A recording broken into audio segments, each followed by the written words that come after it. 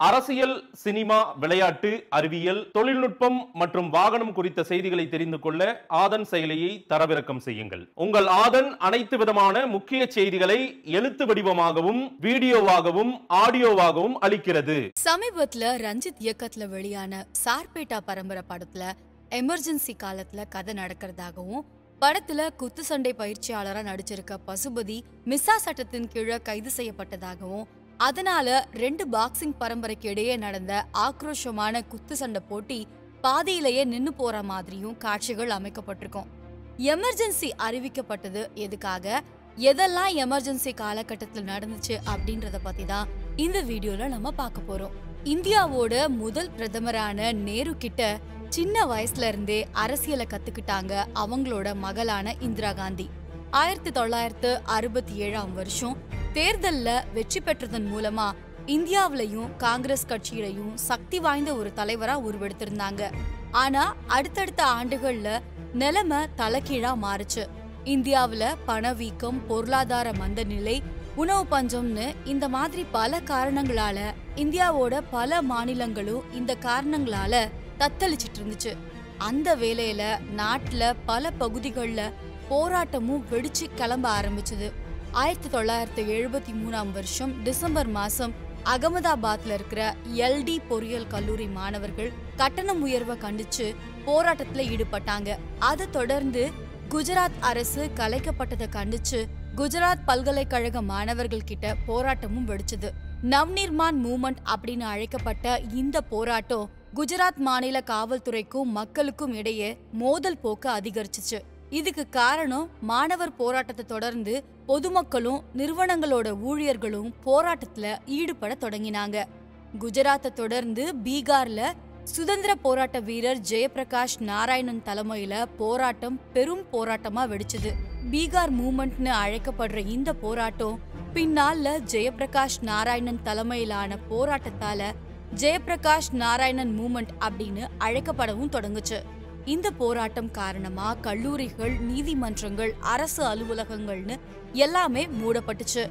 பீகார் போராட்டத்தின் நடுவுல ஜார்ஜ் பெர்னாண்டஸ் தலைமையிலான ரயில்வே வேலை நிறுத்தமும் அரசுக்கு மிகப்பெரிய சவாலா மாறுச்சு.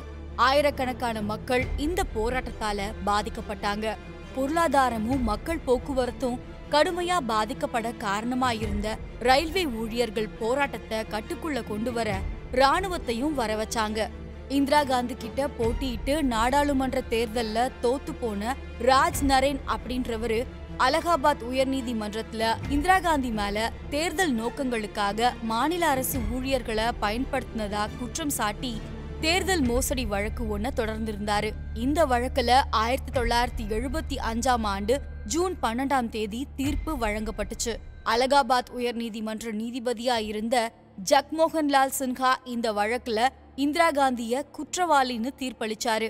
அதனால தன்னோட பதவி பறிபோகும் அப்படின்ற சூழல் இருப்பத இந்திரா காந்தி உணர்ந்திருந்தாங்க.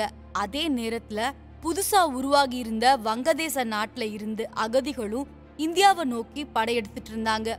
இந்தியா ஒரு தனி நாடா உருவாகி இருபத்தஞ்சு ஆண்டுகள் கூட முழுசா முடியாத இருந்த சூழல்ல புதுசா அகதிகள் உள்ள வர்றதும் நாட்டுக்கு பொருளாதாரத்துக்கும் ஆபத்துன்னு நினைச்சாங்க இந்திரா காந்தி. ஆயிரத்தி தொள்ளாயிரத்து எழுபத்தி அஞ்சாம் ஆண்டு ஜூன் மாசம் இருபத்தி நான்காம் தேதி பிரதமர் இந்திரா காந்தி வீட்டில் சித்தார்த் சங்கர் ராயோட ஆலோசனை நடந்துச்சு. நாட்டோட நிலைமைய பத்தி ஆலோசனை அடுத்த ரெண்டு மணி நேரத்துக்கு தொடர்ந்துச்சு. குஜராத் மற்றும் பீகார் சட்டசபை கலைக்கப்பட்டிருந்த சூழ்நிலையில எதிர்க்கட்சிகளோட கோரிக்கைகளும் ரொம்பவே அதிகமா இருந்துச்சு. கடுமையான உறுதியான முடிவுகளை எடுக்கணும்னு இந்திரா காந்தியும் நினைச்சாங்க. அமெரிக்க உளவுத்துறை சிஐஏவோட உதவியால சிலி நாட்டு அதிபர் சல்வடோர் அயோந்தாவுக்கு ஏற்பட்ட நிலை தனக்கும் ஏற்படலாம் அப்படின்னு இந்திரா காந்தி கருதினாங்க. இந்திரா காந்தி தன்னோட அமைச்சர்கள் யார்கிட்டயும் இத பத்தி விவாதிக்கல. சட்ட அமைச்சருக்கு கூட தெரியாத வகையில இத பாத்துக்கிட்டாங்க. அரசியலமைப்பு நிலைய சற்று தெளிவா அலசி ஆராய அவகாசம் கொடுங்கன்னு சித்தார்த் ராய் இந்திரா கிட்ட கேட்டதுக்கு அதிக நேரம் எடுத்துக்காதீங்க அப்படின்னு அவசரப்படுத்தினாங்க இந்திரா காந்தி. இந்திராவோட சூழலை புரிஞ்சுக்கிட்ட ராய் இந்திய அரசியலமைப்பை மட்டும் இல்லாம அமெரிக்க அரசியலமைப்பையும் அலசி ஆராய்ந்தாரு. உள்நாட்டு பிரச்சனைகளை சமாளிக்கிறதுக்காக அரசியல் அமைப்போட முன்னூத்தி ஐம்பத்தி ரெண்டாவது பிரிவின் கீழே நெருக்கடி நிலைய அறிவிக்கலாம் அப்படின்னு இந்திரா காந்திக்கு ஆலோசனை வழங்கினாரு. எமர்ஜென்சிய பிரகடனம் செய்வதற்கு முன்னாடியே மத்திய அமைச்சரவையில இந்த செய்திய வைக்க விரும்பல. அதுக்கு என்ன செய்யலாம் அப்படின்ற யோசனைய கேட்டாங்க இந்திரா. அமைச்சரவைய கூட்டுறதுக்கு போதுமான கால அவகாசம் இல்லைன்னு குடியரசுத் தலைவர் கிட்ட விளக்கம் அளிக்கலாம் அப்படின்னு யோசனையை தெரிவிச்சாரு சித்தார்த் ராய். நெருக்கடி நிலை தொடர்பான முன்மொழிவை குடியரசுத் தலைவர் கிட்ட வழங்குமாறு இந்திரா காந்தி சித்தார்த் சங்கர் ராய் கிட்ட சொன்னாங்க. ஆனா ராய் இதை ஏத்துக்கல. நான் மேற்கு வங்க மாநில முதலமைச்சர் இந்திய பிரதமர் இல்ல அப்படின்னு மறுத்துட்டாரு. ஆனா இந்திரா காந்தி குடியரசுத் தலைவரை சந்திக்க போகும்போது கூட வர்றதா ராய் உறுதி அளிச்சிருந்தாரு. ரெண்டு பேரும் குடியரசுத் தலைவர் மாளிகைக்கு போனாங்க. குடியரசுத் தலைவர் ஃபக்ருதீன் அலி அகமத் கிட்ட நீண்ட விளக்கம் இத பத்தி கொடுக்கப்பட்டுச்சு.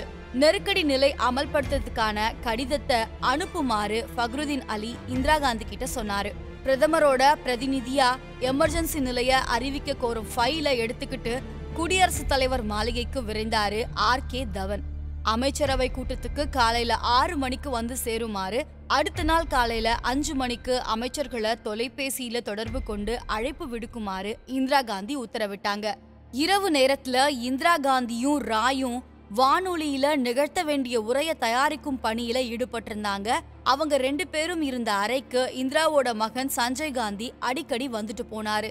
தவனோட அறையில அமர்ந்து ஹோம் மெஹத்தா மற்றும் சஞ்சய் காந்தியும் கைது செய்ய வேண்டியவர்களோட பட்டியலை தயார் செஞ்சுக்கிட்டு இருந்தாங்க. அந்த பட்டியலை பத்தி பேசவும் ஒப்புதல் வாங்கவும் சஞ்சய் அடிக்கடி அம்மாவோட அறைக்கு வந்துட்டு போனாரு.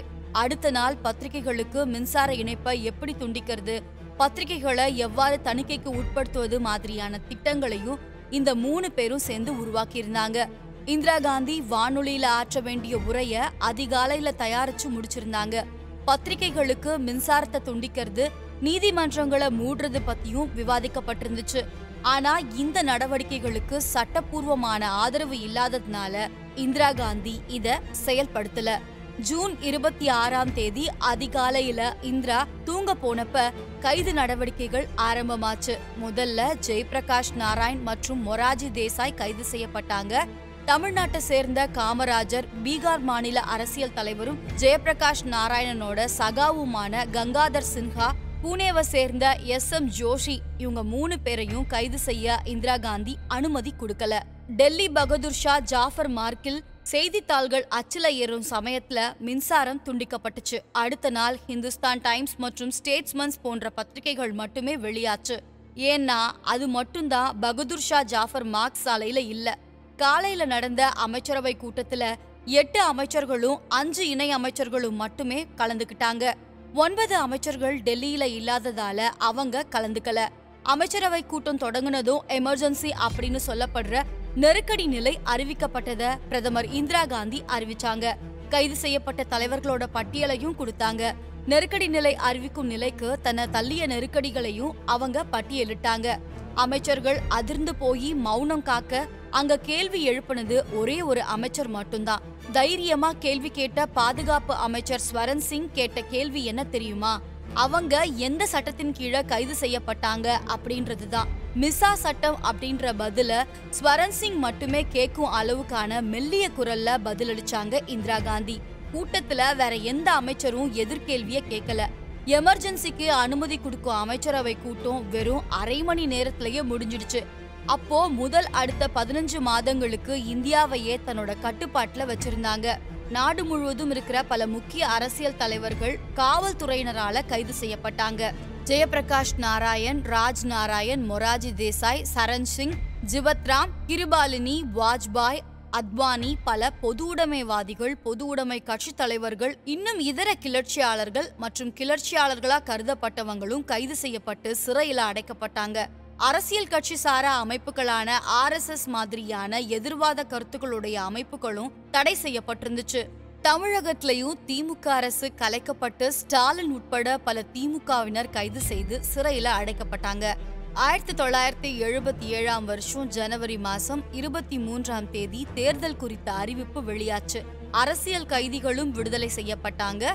நெருக்கடி நிலை அதிகாரப்பூர்வமா மார்ச் இருபத்தி மூன்று ஆயிரத்தி தொள்ளாயிரத்தி எழுபத்தி ஏழாம் வருஷம் முடிவடைஞ்சிச்சு. அடுத்து நடைபெற்ற தேர்தல்ல இந்திரா காந்தி தோல்வி அடைஞ்சாங்க. முராஜி தேசாய் தலைமையிலான ஜனதா கட்சி ஆட்சி அமைச்சிருந்துச்சு. நான் எமர்ஜென்சியை அறிவிச்சப்ப ஒரு நாய் கூட கொலைக்கல. இது சில மாதங்களுக்கு பிறகு ஒரு கூட்டத்துல இப்படி இந்திரா காந்தி பேசும்போது அவங்க சொன்ன வார்த்தைகள் தான் இது.